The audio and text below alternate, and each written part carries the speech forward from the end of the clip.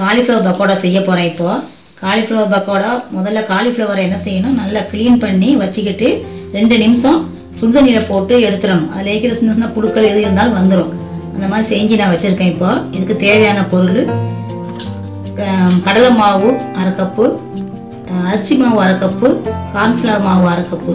மூணு சம அளவு எடுத்து வச்சுருக்கேன். உப்பு மிளகாத்தூள் கேசரி கலர் இவை தான் இவை அனைத்தும் தேவையானது. இப்போ என்ன பண்ண போகிறேன் மாவு எல்லாத்தையும் போடுவோம்.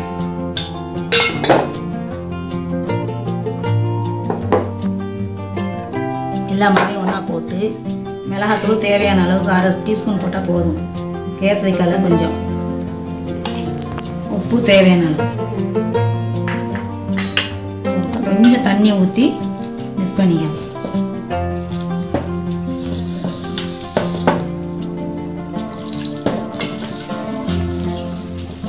கடலை மாவு அதிகம் போட்டோம்னா நமக்கு போண்டா மாதிரி ஆகிடும் அதனால் கடலை இந்த லெவலில் வச்சுக்கணும் அரைச்சி. கட்டி இல்லாமல் நல்லா கிளறிக்கணும்.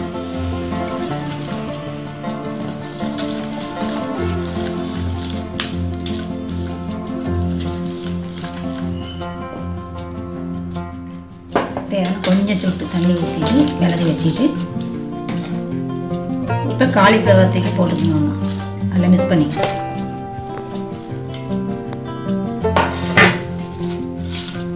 இதை நல்லா இப்போ விரட்டி எடுத்து நல்லா பரட்டிக்கணும் இப்போ இதை அப்படியே நம்ம அடுப்பில் எண்ணெயை ஊற்றி சட்டியை காய வச்சுட்டு அடுப்பில் எண்ணெயை ஊற்றி போடணும். இது அவ்வளோதான் இப்போ அடுப்பில் சட்டியை வச்சுட்டோம். சட்டி காஞ்ச உடனே எண்ணெயை ஊற்றுறோம்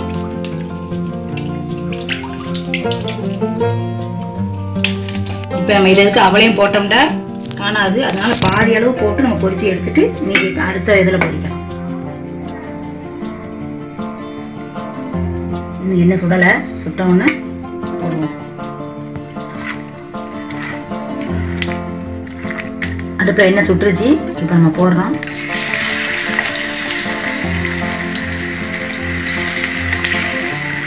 உதிரியாக போடுங்க. மூ மூழ்கிற அளவுக்கு போட்டால் போதும். மீதி அடுத்த இதில் போட்டுக்கலாம். கொஞ்சம் பொரிஞ்ச உடனே தன்னால் விட்டுரும். அப்புறம் நம்ம ஆப்பை விடக்கூடாது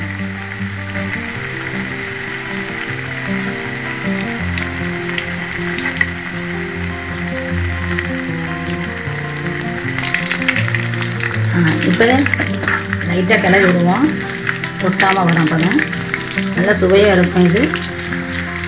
ரொம்ப டேஸ்ட்டாக இருக்கும். வச்சு இப்போ பாருங்க நல்லா முறிவிருச்சு.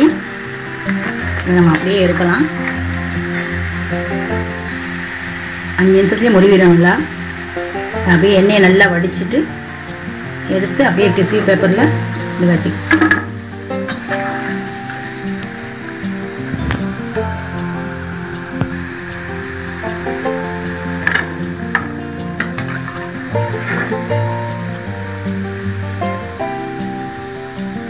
நல்லா எண்ணெயை வடிச்சுங்க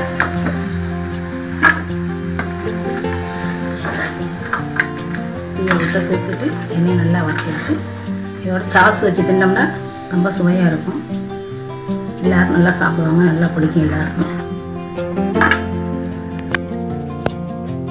இப்போ பாருங்க காலிஃப்ளவர் பக்கோடா ரெடி ஆயிடுச்சு. நான் சாஸோடு சாப்பிட்டா ரொம்ப சுவையாக இருக்கும்